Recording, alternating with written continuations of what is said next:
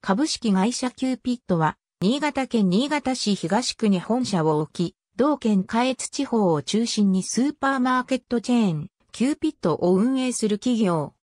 新潟市に本社を置く、堀川かまぼこ工業が1958年6月、新潟市、本町通り6番町に、セルフサービス方式のスーパーマーケット、総合食品かまぼこの堀川をオープンさせた。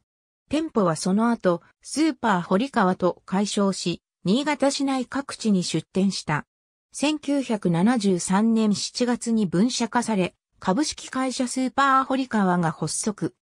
1980年代初頭にコーポレートアイデンティティを導入し、店舗ブランドを現在のキューピットに改称。赤いハートに3本の白いアーチを施したマークが制定され、1983年には社名も現社名に改称した。1990年代にはハイグレードの品揃えを特徴としたスーパーマーケット、ハーティ、種類のディスカウントストア、ハッピーチェーンを展開したものの、その後いずれも事業から撤退したため、現在の店舗ブランドはキューピットのみ。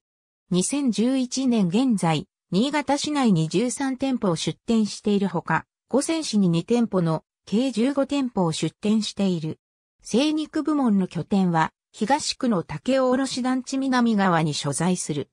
1980年に新設され、キューピット各店舗で陳列する肉類の処理を行っている。ありがとうございます。